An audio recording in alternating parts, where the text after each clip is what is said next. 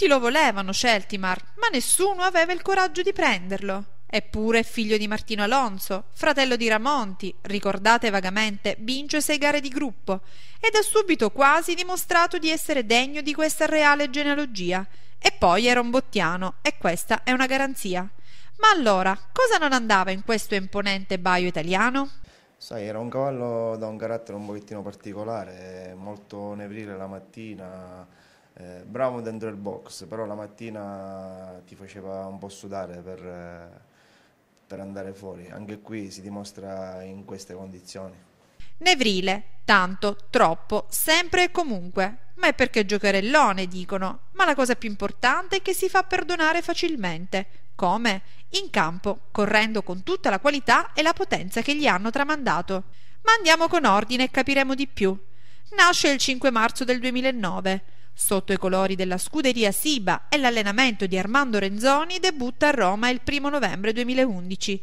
Ma arriva a Napoli la prima vittoria in una Maiden per i due anni sui 1500 metri della pista grande. Alza il tiro ed è terzo in condizionata. Si alterna poi con prestazioni eccellenti e altre un po' meno in diversi handicap tra Agnano e Capannelle, ma non delude mai e si mantiene sempre nei pressi del palo.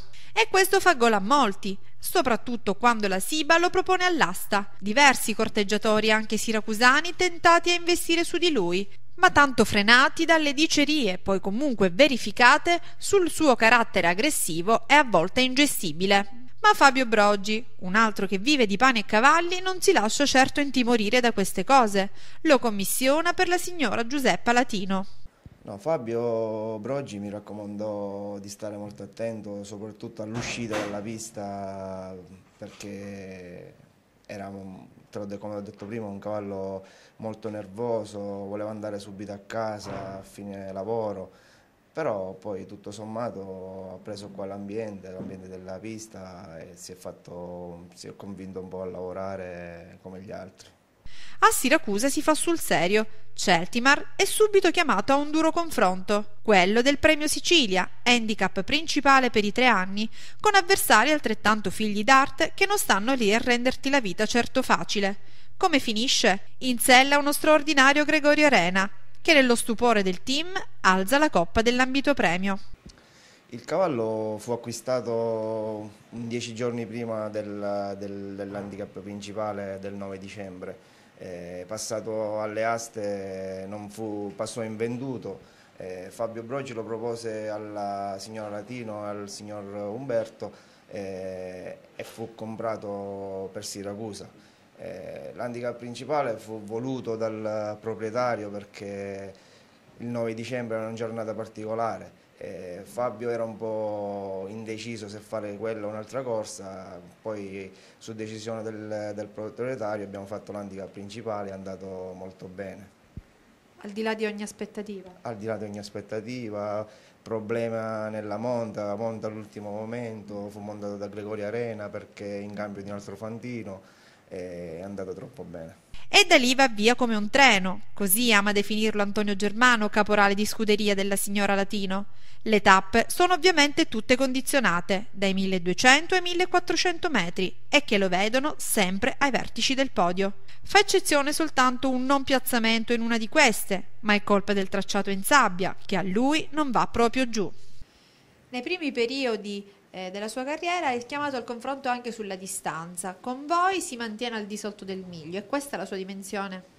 Secondo me è un cavallo da 1200-1600 perché hanno provato pure a farlo correre eh, sul 1800, sui 2000, però il cavallo è un cavallo molto brillante, è un cavallo che corre d'attesa, è lo spunto finale e la distanza dimostrata a Siracusa dal 1100 al 1600 è andato sempre ottimamente. E poi rigorosamente in erba? In erba soprattutto, perché è stato provato sia a Roma che a Siracusa nella sabbia, non la digerisce tanto. Ed è freschissima l'ultima dimostrazione di ottima forma e condizione del qualitativo soggetto dell'Alca Torre di Canicarao, che proprio il 25 aprile, con Antonio Cannella in cabina di regia, è uscito vittorioso dal duello con la boschiana Super Sasha, portando a casa anche il premio Mirlius Sac. C'è in programma qualche trasferta al di là dello stretto?